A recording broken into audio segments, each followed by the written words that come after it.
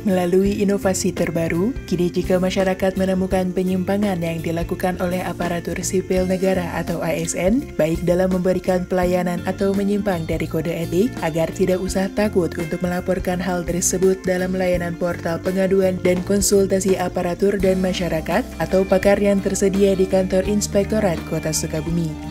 Hal itu disampaikan Wali Kota Sukabumi, Ahmad Fahmi, pada kegiatan Coffee Morning bersama awak media di ruang pertemuan kantor Inspektorat Jalan Surya Kencana, Cikole, Kota Sukabumi. Melalui inovasi dan terobosan yang dikeluarkan Inspektorat, diharapkan masyarakat atau ASN bisa menyampaikan laporan atau aduannya ketika menemukan penyimpangan oleh ASN. Pada intinya, pemerintah daerah ingin memberikan kemudahan bagi masyarakat untuk memperbaiki apabila ada pelayanan ASN yang kurang baik. Tentunya laporan yang disampaikan didukung oleh bukti-bukti yang kuat.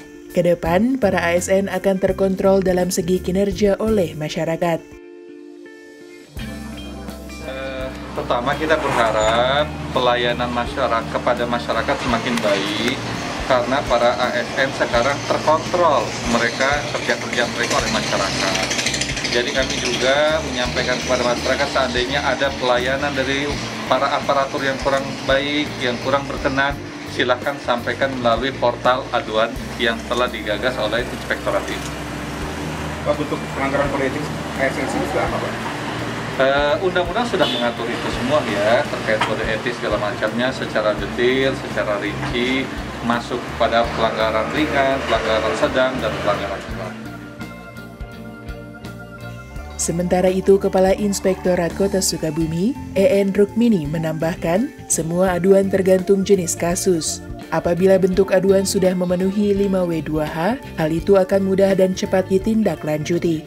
Adanya portal pakar ini juga akan menjamin kerahasiaan dari pengadu atau pelapor portal pengaduan ini nanti kita siapkan bagaimana tata cara masyarakat ini melakukan pengaduan. Dia harus klik apa, kemudian harus isi apa dan sebagainya nanti ada di eh, apa namanya yang online ini. Atau tadi ini misalnya masih masyarakat tuh ah saya handphonenya tidak smartphone, kemudian mau ke sini tidak ada transport dan sebagainya itu pihak sudah juga akan kita tindak lanjuti. Jadi setiap pengaduan masyarakat insya Allah akan kita tindak lanjuti.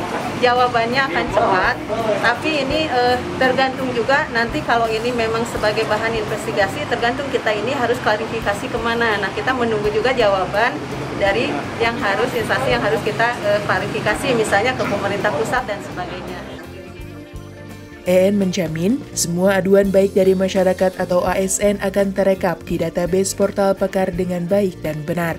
Selanjutnya akan ditindaklanjuti sesuai dengan kelengkapan dokumen yang disampaikan oleh pelapor, jangan sampai aduan hanya dugaan atau fitnah saja.